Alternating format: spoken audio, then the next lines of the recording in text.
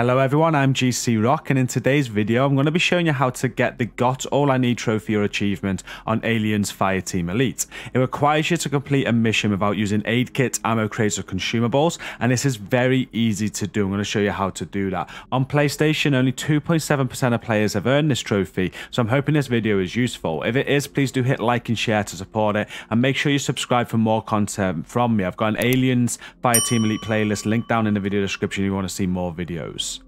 So first things first, you want to choose the mission Priority 1 Ingress. This is the very first mission on the game and it is very easy to complete. What you also want to do is drop the difficulty down to standard because difficulty doesn't matter.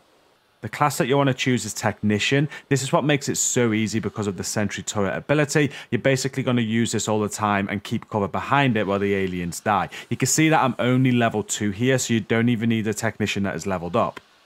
And the next thing that you want to do is you want to make the game private. If you do play with friends, you can do this trophy, but all of you have to do the requirements. So none of you can use aid kits, none of you can restock, and none of you can use consumables. However, if you play private and you play with bots, the bots can do what they want. They can heal each other or whatnot. They can get you up. It doesn't matter what they do, and only you need to do the requirements. So as long as you meet them, you'll get the trophy.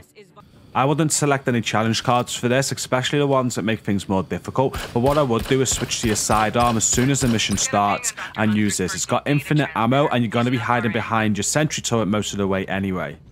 The toughest part about completing this is the Xenomorph Warriors, but as soon as these spawn in, just switch out to your shotgun and make light work of these. And that is it. Just stay behind your turret the whole time. Whenever you see like an enemy spawn in, put your turret down, stay behind it, take a shot, and let your bots do the work. Uh, at the very end of the mission, as soon as the timer runs down and the elevator door opens, you can exit, just run into it, and it'll be mission complete, and the trophy will pop up. In my run, I even got more kills than the bots because the turret is that OP.